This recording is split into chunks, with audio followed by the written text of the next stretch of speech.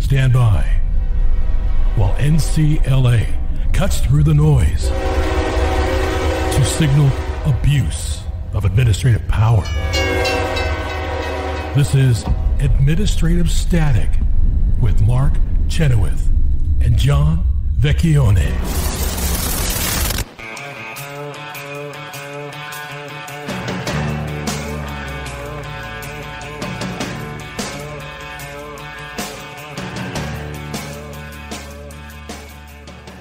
Welcome to Administrative Static. This is John Vecchione, uh, and I'm joined by Mark Chenoweth as usual. Um, and I want to start off um, this week. I traveled up to Boston uh, to argue the case of Relentless versus Commerce. And those of you who've listened for a while, I don't think we've, we've talked about it that much in, in a while, but um, this is a case whereby the uh, Magnuson Stevens Act, which governs fisheries and fishing and all kinds of fishing stuff, um, it it says that the fishing boats in the Northeast, in New England, basically, well, Mid Atlantic too, that that um, they have to allow observers on their boats, and these observers have a defined uh, position. They're they're by regulation they have to have like degrees and know about fish biology and all this kind of thing.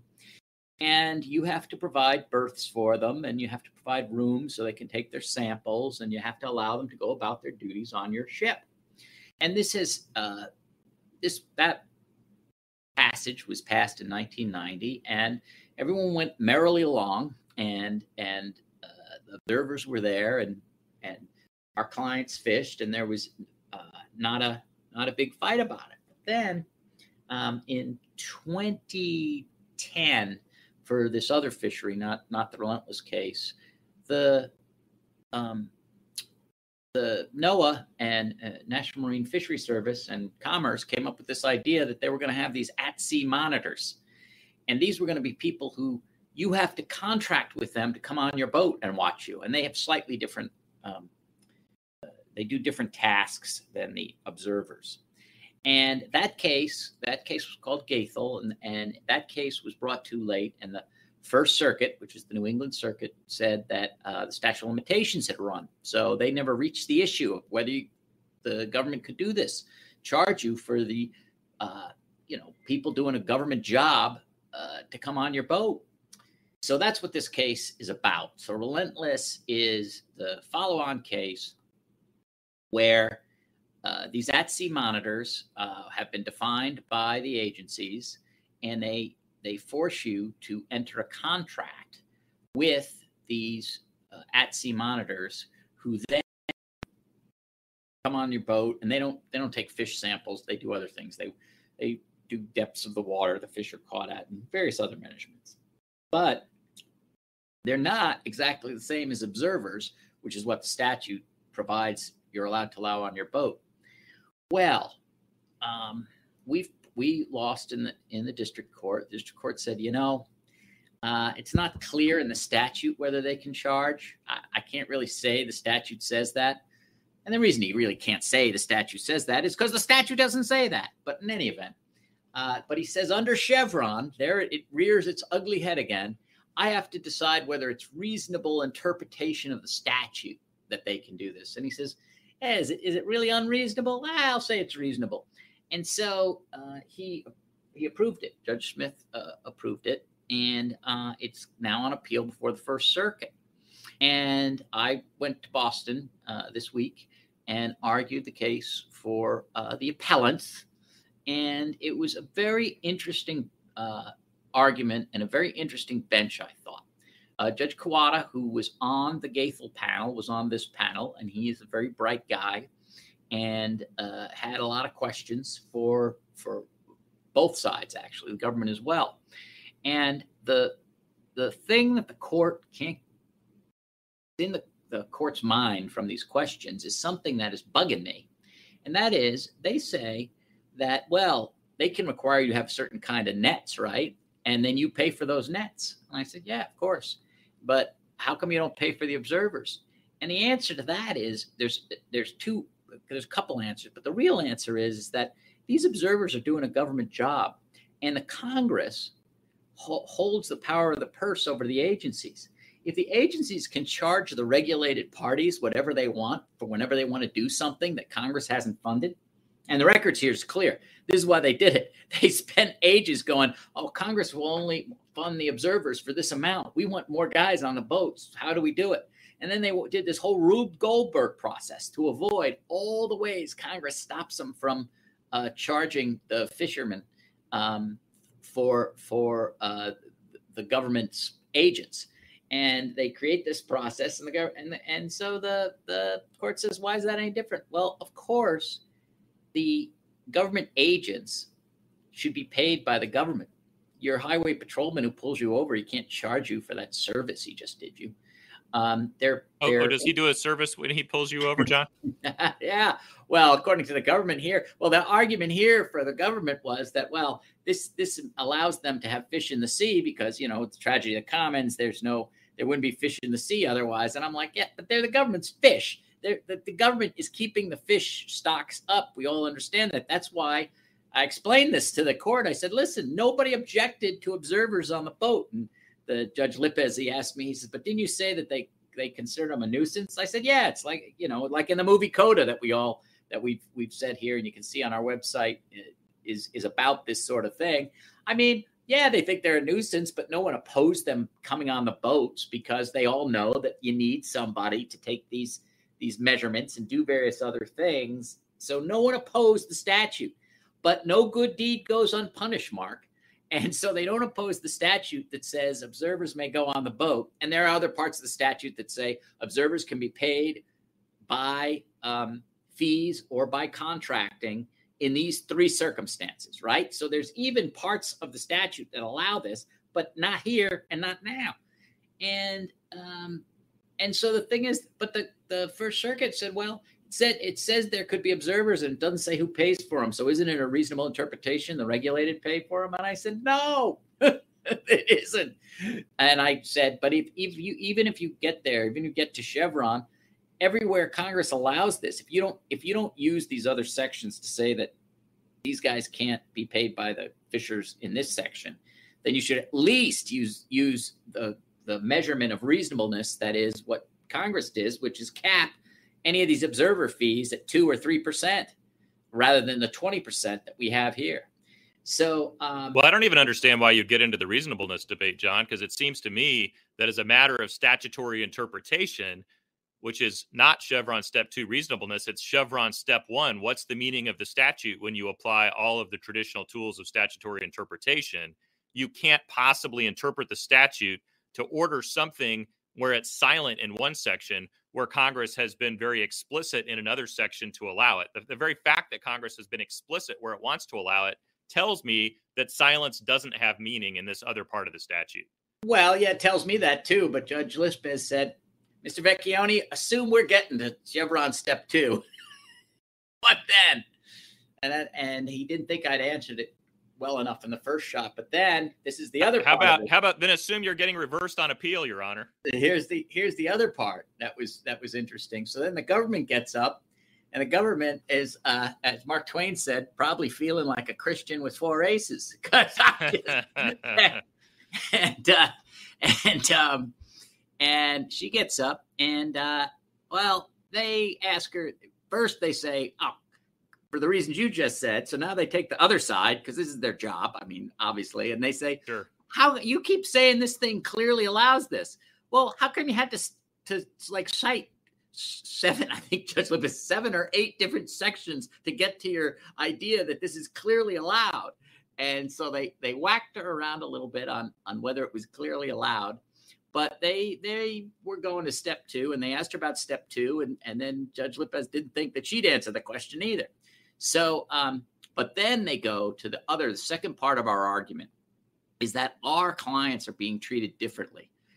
The, the way the statute works, our clients cannot get out of having these at sea monitors paid for by them if they declare for herring because their trips because they they're a freezer outfit and they and they they uh, go after different types of two kinds of squid butterfish and, and herring and so if they declare for herring, even if they take less herring, less than 50 metric tons, that uh, because uh, per day, because they're taking it per trip and their trips go two weeks, all these other ships can take 50 metric tons and have two day trips, and they can take like magnitudes of herring more. And there's a cap on herring. You cannot take more than the what's called the ACL, uh, which is the it, it's the limit of taking fish so that they still can breed and, and replenish themselves. And so no one can ever take more herring out. It's just a matter of who's going to take it. And I, I have to say this the First Circuit kept asking the government, how can you explain this? I mean, and, and I did love what Judge Lipez said. He says, I mean, your answer, I read the briefs, your answer is tough luck. he said, how is, how is that an answer? And so, um, well, so nobody, no, nobody got away unscathed from from the First Circuit um, in this instance. Uh, I'm I'm looking to see. Um, I, th- I, think it's going to be very interesting how they come out. But uh, because Judge Kayatta was on there, I had to directly deal with his concurrence in Goethel, and I told him why I thought he was wrong, which is never a comfortable feeling for a uh, for a litigator. but I th- I thought he does it well. As I said, he's a bright man. He knows how these things are done, and um, and uh, and it, and it, and it was my first appearance in that in that court uh, in person, and it is absolutely beautiful, looking over Boston uh, Harbor, all with still fishing boats there, which made it nicer than I think uh, the Loper Bright people who have another case in D.C. have, where I didn't get to use my line. I never used it, Mark, so I'm going to say it here, which is that the D.C. Circuit came out the way it it did because its iconic uh, product is bureaucrats, and they support that. But your iconic product is fishermen, and you should support them. but I didn't, I didn't say that. Well, maybe next time. So we'll be back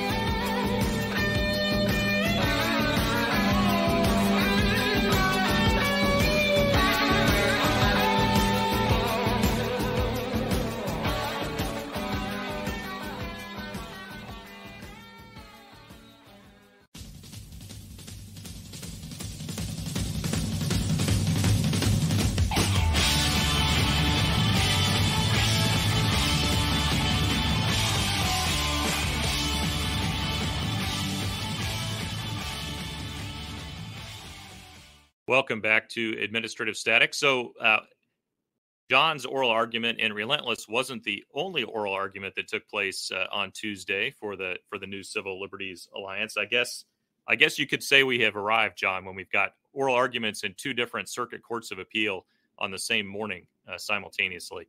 Uh, but in any event, uh, our colleague Rich Samp and I were down at the U.S. Court of Appeals for the Fifth Circuit in New Orleans for the en banc oral argument in Cargill v. Garland. Michael Cargill is our client who owns the Central Texas Gunworks in Austin, Texas, and is challenging the legality of the ATF's ban on bump stocks. And you followers of the program will know that, uh, that we lost that case at the district court level and at the panel level. Uh, but we we took solace in the fact that the Fifth Circuit agreed to rehear the case en banc with all 17 active judges uh, of the Fifth Circuit uh, there to to hear the case. And and John, it wasn't just all 17 active judges, but one of the active judges who was on the panel uh, retired at the end of August, and so wasn't there. huh. So it was. Uh, uh, but but I have not been at a en banc argument that had that many judges uh, before, and it might be about the upper limit of what it, you could reasonably. Yeah I always thought it was 11. Yeah, I always thought it was like 11. That's the Ninth Circuit. They Ninth Circuit takes a panel. They take a random draw. But uh, in the Fifth Circuit, all the active judges are, are, are, up there, and there are 17 of them. So it was uh, uh, it was quite something to behold. And and Chief Judge uh, Priscilla Richman uh, oversaw uh, the argument, and and Rich, our our colleague Rich Samp, started off the argument very well, talking about the points that that we wanted to make. That look, this is a this is a statutory interpretation case, and we want the government, uh, or we want the court rather, to look at these terms all together, right? There are two terms that are really the focus of concern. One is automatically, uh, whether or not the weapon shoots uh, automatically. Uh, uh, you know more than one bullet with a single function of the trigger, and then uh, and then the single function of the trigger is the other other term, what counts as a as a function uh, of the trigger. And and Rich wanted the court to recognize that it's automatically shoots with a single function of the trigger because the government keeps trying to take these these terms apart and say, well, here's our definition of automatically, and that's reasonable. And here's our definition of single mm-hmm. function of the trigger, and that's reasonable. Therefore, if you put them together, it's reasonable. Well, that's a nice party trick. But the problem is that when they do that, they ignore the fact that they're using automatically to to sort of modify uh, the wrong thing uh, in in one sense because they're trying to suggest that a bump stock works like a machine gun when it doesn't.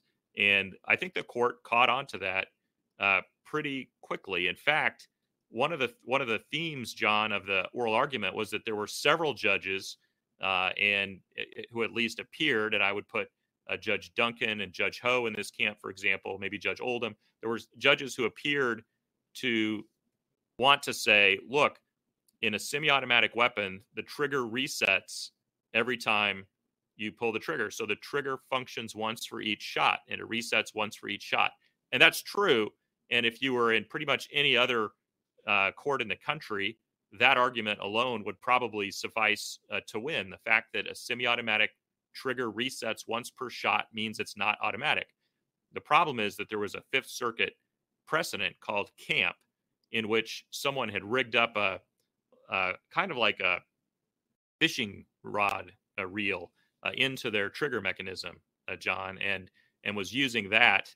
And the court said in the Camp case that even though the trigger reset once for each shot fired, uh, that it was really an automatic uh, kind of, of shooting the way that that Camp had had rigged the gun, and so that now you're in front of an en banc court, and so the en banc if the en banc court wants to revisit Camp and wants to to clarify that the situation there doesn't necessarily apply here, or maybe even the court was wrong in Camp in its its interpretation. Obviously, the en banc court uh, is free uh, to do that, uh, but Rich did a good job of of showing the court that there was another uh, path to victory here, and that path to victory is is saying that uh, even if you want to say that what happens in camp is automatically uh, setting in motion a, a, a, sequence of shots, what's happening with a bump stock is not automatically setting in motion a sequence of shots. And there was some misunderstanding. I think it was Judge Southwick at the beginning of the oral argument said,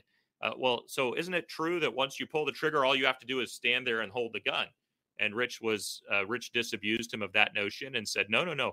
You have to put forward pressure on the stock of the gun, and you have to overcome the recoil with each shot. Each shot fired, there's substantial recoil that happens with a rifle, and you have to overcome that and push forward on the gun. And and Rich was demonstrative with his uh, with his uh, hand gestures, showing you had to push forward on the forestock of the rifle in order to overcome that uh, that recoil and and and you know and I don't know whether all of the judges picked up on that or not but uh, Judge Elrod uh, jumped in and said so so that that's why you're saying that you have to have two hands that with a with a with a, a fully automatic machine gun you can operate it with one hand but with a with this bump stock you really have to have uh, two hands because you have to exert this forward pressure with with each shot and Rich agreed with that said yes that's right and, and so that's think, not automatic. That and that's not automatic. In fact, it's the opposite of automatic. It's manual. It's your hand. yeah.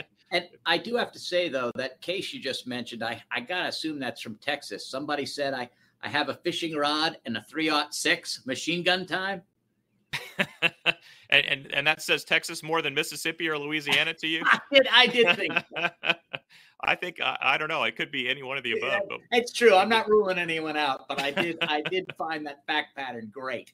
Yes, yes, it is. Uh, it's an amusing fact pattern, but you know, bad facts make bad law sometimes, yep. and and it could yep. be that that in stretching the statute to cover what was a, a kind of a ridiculous fact pattern in in camp, uh, the the Fifth Circuit panel in that case may have done some violence uh, to the statute because uh, Judge Duncan and some of the others kept coming back to the statute and saying well, but it's not the shooter who automatically shoots, it's the weapon under this statute. And he said, I'm not going to make you diagram the sentence I, I, I think he said this to the government. I'm not going to make you diagram the sentence, but isn't it isn't it the shooter that who's this or I mean isn't it the weapon that's the subject of the sentence and not the shooter that's the subject of the sentence? And the government the government agreed uh, with that.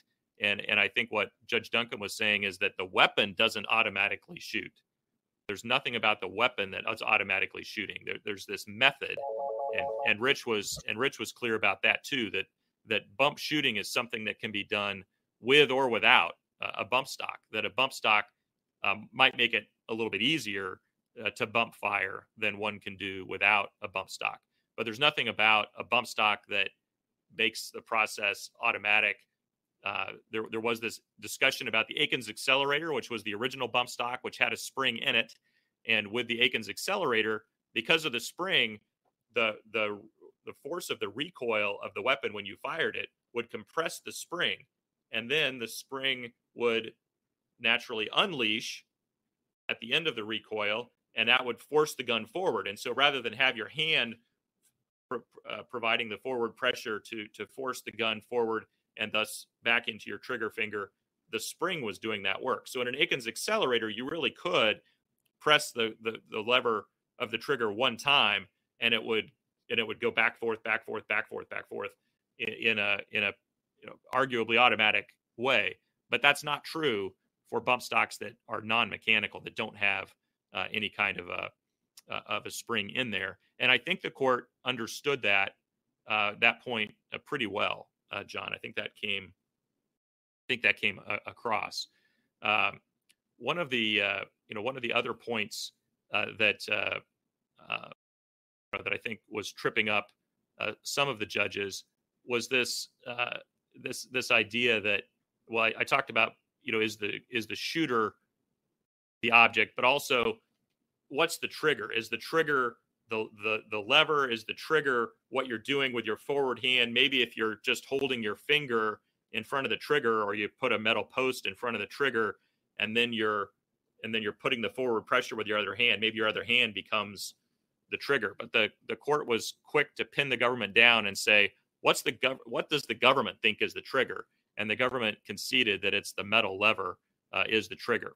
And the reason why that is significant is because one of the theories propounded by the district court in this case, and remember when you're when you're in front of the en banc court, you're not arguing about the panel decision because that's already been vacated. You're arguing about the district court decision, and and the district court uh, decision had had sort of made this point that. Uh, that, that maybe the trigger is what you're doing with your your left forehand. Now, even in that case, again, it's you have to exert forward pressure with each shot. So I think I think we could still prevail on that. But the district court had had a sort of a, a factual finding, uh, I guess you would say, uh, John, uh, that uh, you know that that it that it didn't really that the gun didn't really work that way, and so there was quite a discussion between uh, and and Rich said, look, this is this is one place where we think that the the district court was clearly erroneous, and he pointed to the to, to the trial evidence as well as the administrative record. And, and just to explain, the, Mark, yeah. a factual finding of a district court, the standard is clearly erroneous. They, the, the appellate court can't look at it anew. It has to be so wrong that they they can say, look, that can't be right, and they can overturn it only on that grounds. That's why you use that. That's right. That's right. And so I think that that Rich did a good job of explaining why it was clearly erroneous and pointing to places in the record.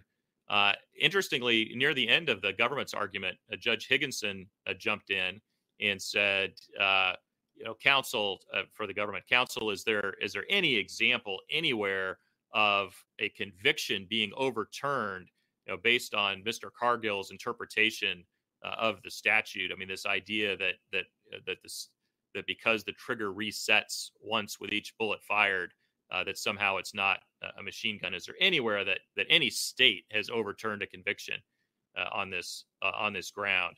And uh, and and uh, he said he's the government said no, he wasn't aware of one. But there's a federal case. It's Alkazahg in the U.S. Navy Marine Court of Appeals. So uh, it was fun that that came up as well. We'll see what the what the banc court wants to do. Stay tuned for more right after this.